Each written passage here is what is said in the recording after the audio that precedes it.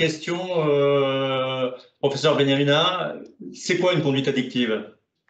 Bah, D'abord, bonjour Eric, merci à l'ANF d'être partenaire, hein, et puis euh, dans l'autre sens également, d'Addicted, le, le fonds Michel Reynaud, et puis d'Addicted Prod évidemment, qui est le, sujet euh, qui nous concerne aujourd'hui. Euh, je, vais peut-être profiter de l'intitulé de la formation de la veille, c'est-à-dire la parole interne de l'entreprise, pour dire que finalement les, la question des addictions, c'est aussi une question de parole et d'échange. alors, c'est quoi une addiction? C'est quoi une conduite addictive? Et la différence est importante. C'est lorsque on perd toute liberté de s'abstenir face à un produit, à un comportement. Donc, c'est une question de liberté. Et donc, cette perte de la liberté s'exprime cliniquement par un certain nombre de, process, notamment le fait de répéter la consommation d'un produit. Alors, les produits les plus concernés, évidemment, en France et même dans l'entreprise, c'est tabac, alcool et, peut-être un peu les produits dits interdits, comme le cannabis, mais pas que. Et cette privation de liberté, lorsque la, finalement le comportement se répète, est à l'origine euh, de dommages, de dommages physiques, psychologiques et environnementaux. Ah, les premiers dommages, c'est d'abord, euh, par exemple, le, si on se réfère à l'entreprise, le manque d'assuétude, le, retard. Et puis les dommages peuvent être des dommages physiques, euh, finalement, un mauvais sommeil, on peut avoir des stigmates au niveau des organes, le foie pour l'alcool, les poumons pour le tabac, on, peut on peut prendre du poids et on peut aller comme ça crescendo vers des maladies plus graves. Ensuite arrive ce qu'on appelle en même temps, très souvent, les dommages psychologiques, de l'anxiété, de l'insomnie, euh, de la dépression, et parfois on peut avoir même plus important que ça. Puis arrive euh, euh, comme un cercle interdépendant les dommages sociaux, et dans l'entreprise, c'est la perte de l'emploi, dans la famille, et évidemment, c'est les conflits familiaux, conjugaux, avec les ascendants, les, les, descendants. Donc en gros, c'est ça une conduite addictive. Ce n'est pas une quantité d'alcool consommé, une quantité de tabac, c'est une quantité d'alcool. Chez une personne précisément, euh, on verra après les différences à un moment euh, dans sa vie et dans un environnement précis. C'est ce qu'on appelle le lien entre euh, une personnalité, un, produit ou un et un environnement. C'est ça une conduite addictive. D'accord. Et, donc par rapport à ça, sommes-nous tous égaux face à, cette, à ce risque de conduite addictive? Eh bien non. Alors évidemment, ça nous renvoie à un, des, des, éléments du, du triptyque euh, la conduite addictive se différencie par la vulnérabilité d'abord en fonction du sexe. Les femmes, quel que soit le produit, et c'est plus exprimé pour ce qui est d'alcool, sont plus exposées pour la même quantité pour des raisons physiologiques. Il y a une injustice naturelle qui s'exprime sur les, femmes. Euh, les personnes plus jeunes, pour ce qui est par exemple du cannabis, sont plus sujettes à des vulnérabilités psychologiques qu'une personne qui, à, à partir d'un certain âge, a fini de maturer son cerveau après 23-24 ans. Voyez Les personnes qui ont, par exemple, une prédisposition psychologique au stress, à l'anxiété ou à la, aux maladies psychiatriques graves comme les psychoses sont plus sujettes à, ce type de, finalement de, conduite et de dommages liés à la conduite surtout. Euh, il, y a des, prédispositions aussi euh, de caractère qui font que certaines personnes sont plus sujettes à consommer des drogues parce qu'elles ont, à travers la consommation de ces drogues, une proportion à gérer leur anxiété, alors, à gérer leur stress, alors, à gérer leur impulsivité ou bien leurs émotions, ou d'autres qui, euh, c'est tout le contraire, ont besoin ou ont une appétence pour les drogues parce qu'elles ont des envies de nouveautés, de, recherche de sensations. Donc on est totalement euh, euh indifférent, différent et, euh, injustement doté finalement à la fois sur le plan psychologique et sur le plan physique face aux drogues. D'accord. Et, dans la, situation sanitaire actuelle, est-ce que ça, les confinements répétitifs, euh, l'angoisse du Covid, est-ce que ça a une, une influence sur ces conduites? Alors là, vous avez mis à l'écran, Eric, l'enquête BVA qui a été portée par Addiction France. Au cours du premier confinement, comme tout le monde le sait, ça a été un confinement très dur, très sec, qui a concerné tout le monde. Ce qu'on en tire, c'est que la plupart des produits ont été majorés. Vous voyez ici les écrans, forcément. Alors, il y a une confusion entre les écrans pour des raisons dites professionnelles, puisque tout le monde le sait, le télétravail s'est fait grâce à l'outil écran. Et on voit que tous les produits euh, usuels et les produits euh, euh, qui ne sont pas interdits, hormis, vous voyez ici le cannabis, ont été majorés. On le voit. On voit ici le tabac 35%, le cannabis 33%, les anxiolytiques, les somnifères, les antidépresseurs, l'alcool. Alors, les antidépresseurs, évidemment, ça, on voit ici que c'est 26%, mais on se rendra, on s'est rendu compte après ce premier confinement qu'on a eu aussi un effet lié à un effet de dépression lié à, à, cette période. Ce qu'on retrouve, c'est qu'il y a un certain nombre d'éléments qui, apparaissent dans cette enquête BVA qui sont intéressants à, citer, comme l'ennui, le manque d'activité, le stress, l'anxiété, l'enfermement, euh, euh, la nécessité de faire quelques pauses, et les pauses se font souvent par la prise de produits, et notamment le premier des produits les plus faciles à, consommer, c'est l'alcool, et qui euh, avait une forme de justification qui pouvait s'expliquer du fait que, bon, il y a plus grave, euh, c'est le Covid, il y a plus grave, on peut mourir euh, alors qu'on n'est pas encore euh, totalement, on n'est pas prémuni, il n'y avait pas de vaccin à l'époque. Et donc, il y avait une cesse de justification même pour ceux qui étaient des consommateurs occasionnels. On s'est rendu compte qu'il y avait une majoration de ceux qui avaient une consommation qui était régulière, quasi quotidienne, sont allés encore plus loin dans la consommation. Et ceux qui avaient un lien qui était anecdotique avec le produit se sont trouvés à consommer de manière régulière. Vous voyez? Donc, on est sur ce type de, de, de, finalement de consommation. Ce qu'il faut garder c'est que tous les critères liés à la consommation ont été consommés. Tous ceux qui consommaient ne sont pas ou ne seront pas forcément un jour dépendants, mais les dommages immédiats pouvaient s'exprimer à travers ce type de consommation. D'accord. Euh, est-ce que est-ce qu'on peut dire que dans ce cas-là, le, travail est, protecteur et comment expliquer que le télétravail augmente ces, conduites addictives? Alors, le travail, il a pour nous un, effet euh, de, de, rythme au quotidien. Alors, on se lève, évidemment, on se prépare, on va dans un milieu où on doit donner le meilleur de soi, c'est le travail. On est dans un milieu où on n'est pas isolé, et sinon, ce n'est pas, pas du travail, c'est du télétravail. Et puis, on est, euh, d'une certaine manière, euh, euh, vis-à-vis des addictions, protégé par, par le regard à la fois de ses collègues et de sa hiérarchie.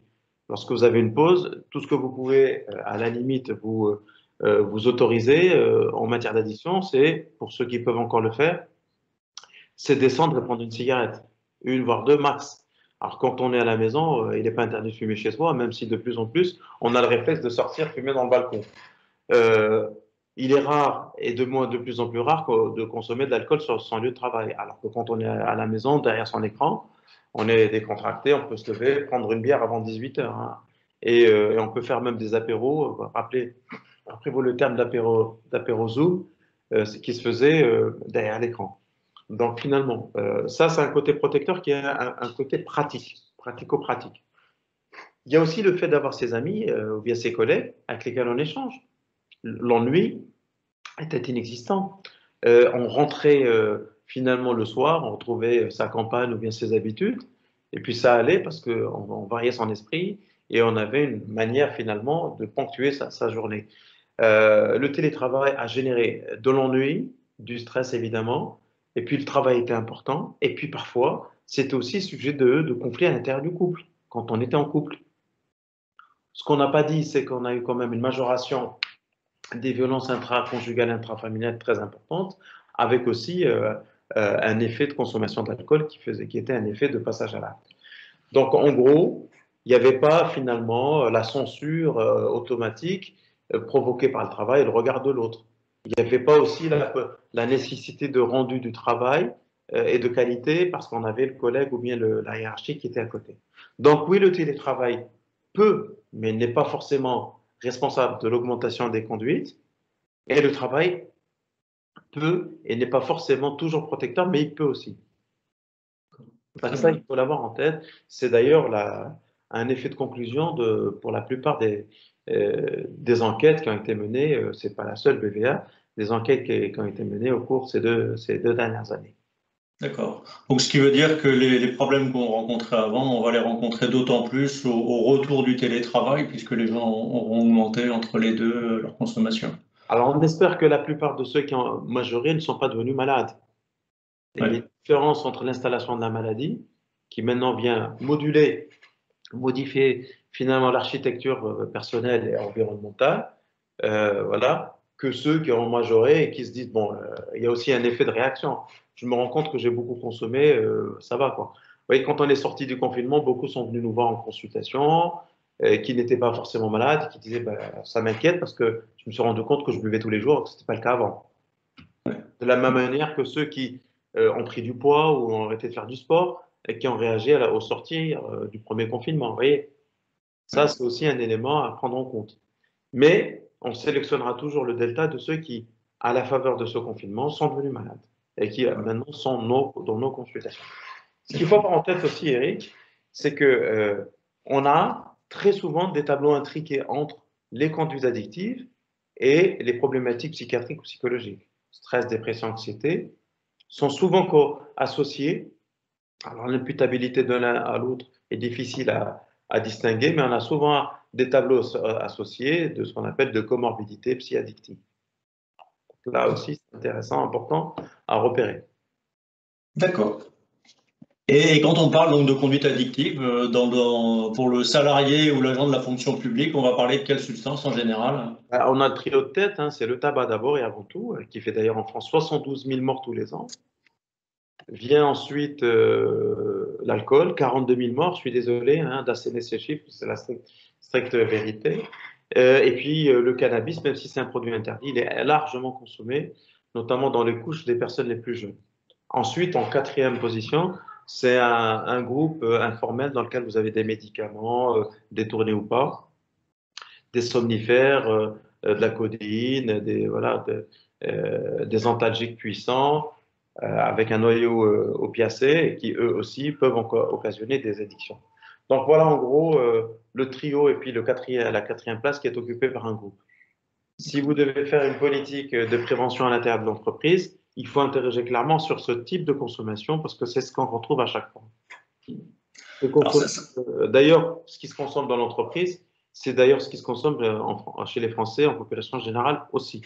Oui, on retrouve la même, la même chose en entreprise qu'à l'extérieur. Le même classement, mais avec évidemment des prévalences différentes et des risques différents. D'accord. Voilà. Alors, ça, tu as fait le lien, euh, Samy, si tu peux passer à la suivante, avec la, la cohorte Constance. Euh, donc je, je, profite de, de l'occasion un petit peu pour, euh, pour rajouter quelques, quelques chiffres. Tout d'abord, euh, qu'est-ce que la cohorte Constance? Donc c'est un document qui vient être euh, publié en, avril 2021, donc extrêmement récent. Et c'est une, une enquête épidémiologique qui a été réalisée sur 200 000 personnes actives de, de 18 à 65 ans, je crois. Euh, cette enquête-là a été faite euh, avant le, confinement, avant le premier confinement, et on y retrouve en effet euh, tous les chiffres de, consommation excessive et, donc de, de comportements addictifs, que ce soit pour le tabac, l'alcool, les drogues, les médicaments. On y retrouve euh, catégorisé dans, toutes les catégories socioprofessionnelles et par tranche d'âge également. Euh, je, profite là de, l'occasion pour ressortir ce que ce Camille nous disait être euh, la première consommation excessive en, en entreprise, c'est-à-dire l'alcool, mais dans cette euh, cohorte Constance, on y retrouvera tous les chiffres de la même manière sur toutes les autres addictions. Euh, qu'est-ce qu'on peut voir dans ces chiffres? Ben, On voit euh, très clairement déjà euh, que l'alcool concerne beaucoup de gens. J'aurais même tendance à dire on est tous concernés, soit parce que ça va être notre collègue, soit parce que ça va être un salarié, soit ça va être un commercial, soit ça va être euh, une, un jeune homme, une jeune femme, on est absolument tous concernés. Ce que, ce que ces chiffres-là nous, nous donnent, alors bien sûr, la tranche d'âge 18-35 ans, on voit sur les jeunes hommes, c'est plus, plus de 30%, donc euh, quasiment un tiers des jeunes ont une consommation d'alcool à risque mais d'une manière générale, presque 20% des hommes ont cette consommation à risque, près de 8% des femmes ont cette consommation à risque. J'insiste sur le fait que cette enquête a été faite sur des gens en, en, situation, en situation active, donc on est absolument dans des gens qui sont intégrés dans le monde du travail, donc c'est l'environnement euh, que l'on a tous euh, autour de nous. C'est 20% d'hommes, c'est 8% de femmes, et puis on voit également euh, les, les consommations ponctuelles importantes, le binge drinking en, anglais, euh, qui est beaucoup plus important encore, avec 27,5% des hommes et 11 fois 11% pardon des femmes qui le font au moins une fois par mois. Euh, pourquoi mettre en avant euh, ces chiffres? Et puis après, je laisserai la parole à Amine pour compléter euh, ce, que, je peux dire. c'est qu'il y a un lien très direct. Alors, le comportement addictif a des conséquences, bien sûr, autres que sur les accidents du travail, notamment sur le bien-être et, et, la convivialité dans l'entreprise. Mais il y a un, lien très direct qui est fait entre la consommation d'alcool à risque et les accidents du travail. Donc, j'ai repris également les, chiffres euh, toujours issus de cette cohorte Constance. Euh, le, risque d'accident du travail grave est multiplié par deux euh, dès lors que la personne a une consommation chronique hebdomadaire excessive. Donc, on va parler de deux verres par jour chez les femmes et de quatre verres par jour chez les hommes. Comme disait Amine tout à l'heure, les, hommes et les femmes, on n'est pas tout à fait égaux par rapport à cette consommation excessive. Mais en tout cas, le risque d'accident grave donc, dans le sens accident grave, on, parle d'interruption euh, de travail. Hein, euh, donc, euh, ce, risque est multiplié par deux. Et pour ceux qui ont une, qui font du binge drinking, hein, une, alcoolisation importante une fois par semaine, on va retrouver une, une augmentation de 50% de ces accidents graves. Donc, d'où l'importance de, travailler sur, sur la prévention. Mais je vais laisser peut-être Amine également compléter s'il a quelque chose à, compléter sur, euh, sur la cohorte Constance et puis plus spécifiquement sur les chiffres de l'alcool. Ben, tu as pratiquement tout dit, Eric. Donc, simplement réinsister sur la nécessité de, de faire attention parce que ce qui est assez piégeant, c'est qu'on sait évidemment, pour, quand on fait des analyses même anonymisées, que euh, la, la, population générale et la population des, finalement euh, des employés ou bien des personnes actives, comme on l'a dit tout à l'heure, elle est, tout à fait comparable. Simplement, euh, ce qui est assez compliqué, c'est qu'on a affaire à un produit qui a un, statut assez hybride. Il est, il il n'est pas interdit, il est toléré, et parfois il est difficile d'intervenir quand les personnes viennent alcooliser, ou alors dont on sait qu'elles sont alcoolisées quand on rentre chez elles. Il y a toute la, toute la philosophie qui est en train de changer sur euh, les pots de départ, euh, les consommations lorsqu'on fait une pause déjeuner. Donc l'alcool est, présent. Et puis ceux qui viennent alcooliser déjà le matin ou alors euh, qui, n'ont pas encore totalement, euh, euh, qui ne se sont pas encore totalement libérés de l'alcool, lorsque ils reviennent, donc ils reviennent d'une alcoolisation chez eux. Oui, le lien entre d'abord les performances, les accidents, l'efficience au travail ont été montrés directement entre alcool et ces trois éléments. Ça, c'est une, évidence. Et là, on a des chiffres très précis qui le montrent c'est évident. Alors évidemment, là, c'est une, photographie importante puisque c'est quand même euh, beaucoup de monde qui ont été, euh, qui ont. Ensuite, le travail sur le tabac a été plus simple. Je le rappelle parce que c'est quand même euh, beaucoup de morts. C'est plus facile parce qu'on a affaire à un produit qui est, qui est sorti finalement de notre culture, alors que l'alcool fait partie de la culture, notamment la culture hexagonale. Et la communication est plus compliquée. On a toujours le sentiment, en parlant d'alcool, de s'immiscer dans la vie, dans les plaisirs et dans l'hédonisme des Français. C'est d'autant plus compliqué que euh, lorsque euh, on essaye d'en parler en entreprise, parce que jusqu'à présent, c'était un élément de convivialité qui était, entre guillemets, tout ça, nécessaire pour pouvoir finalement euh, fluidifier les rapports sociaux à l'intérieur de l'entreprise. Ce que disaient les, les, les anglo-saxons parlent du team building, c'est-à-dire construire l'esprit d'équipe par du sport et par un certain nombre de, finalement d'activités qui sont en train d'arriver d'ailleurs en France, alors que jusqu'à présent en France, pour nous, le team building, c'était sortir et faire un bon festin et surtout l'arroser. Donc c'est tout ça qu'il faut clairement arriver à changer dans la mentalité hexagonale. Et si tu fais, tu as raison, Eric, d'en parler parce que c'est le tabou et en même temps le problème par lequel il est, en, par lequel certains, accidents, certaines difficultés peuvent être à la fois générées et même peut-être maintenant euh, prises en compte. Voilà en gros ce que je voulais dire et insister sur finalement la philosophie derrière tout ça qui explique ces chiffres. Juste, on va rester encore deux, petites secondes sur la cohorte Constance. Euh, merci Amine pour ces, commentaires. Euh, je, mettrai en, pièce jointe de la, diffusion de, du replay euh, l'ensemble des chiffres de la cohorte Constance. Hein. je, la, la, la Mildeca nous ayant euh, également demandé de, de, diffuser au maximum euh, ces chiffres bah, pour que euh, ça puisse être un, point d'entrée en fait de discussion dans les dans les entreprises, de pouvoir se rendre compte que le sujet n'est pas un sujet tabou, c'est un sujet qui est extrêmement présent Et, statistiquement, bah, si on prend même des petites structures, bah, on va avoir forcément des, des, gens qui peuvent être confrontés à ce genre de problème à un moment de leur vie. Hein. Il ne s'agit pas de dire que les, les gens euh, peuvent avoir toujours le problème, mais peuvent être confrontés à un moment de leur vie à cette, euh, à cette consommation à risque.